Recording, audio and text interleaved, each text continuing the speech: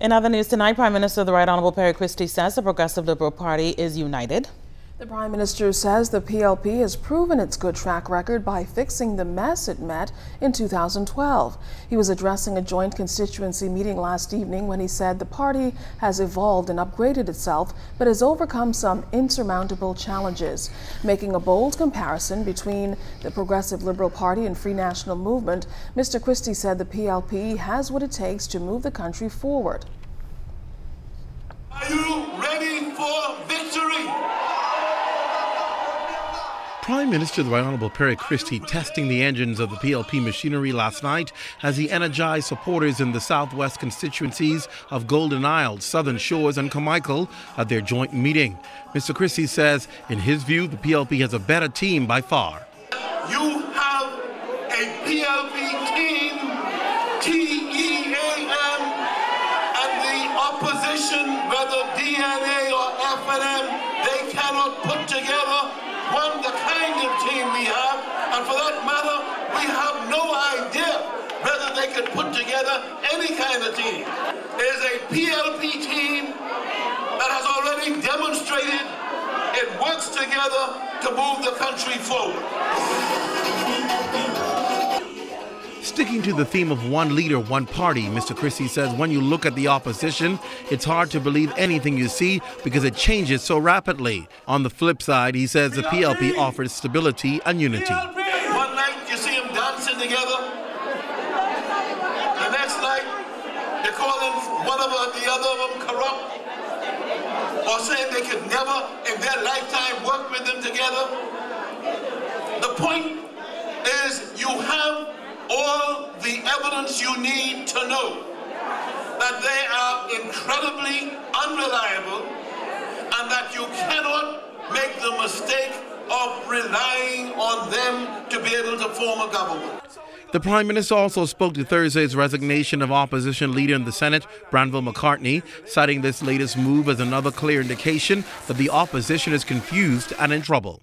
He said he couldn't handle the seeds of confusion.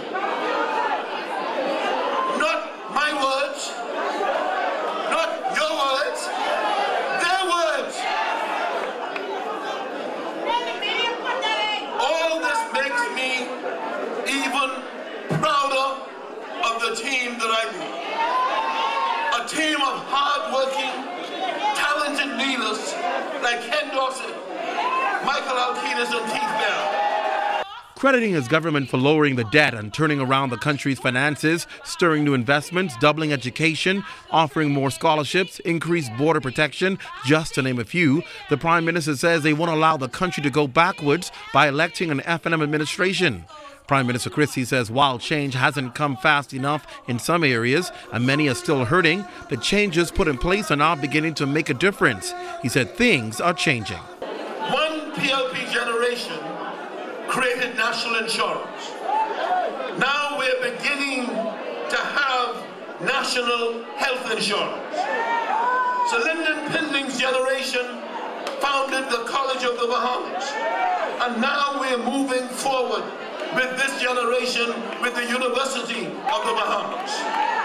Pindling's generation made it a priority to support Bahamian athletes. And now, under this government, we have turned our sporting excellence into sports tourism, expanding in athletic stadiums that were designed by Bahamian architects, built by Bahamian engineers, and Bahamian workers, owned by Bahamians, with beautiful new facilities that will support a new generation of Bahamian students and Bahamian athletes. These things have happened. These. The Prime Minister says to put the country into the hands of the opposition, in his opinion, would be a big mistake the country makes. Who demonstrated that they were more concerned about giving cabinet ministers big government contracts. Now they have a party that is so divided and so weak that they will wreck this country while they continue their. Clint Watson, ZNS Network News.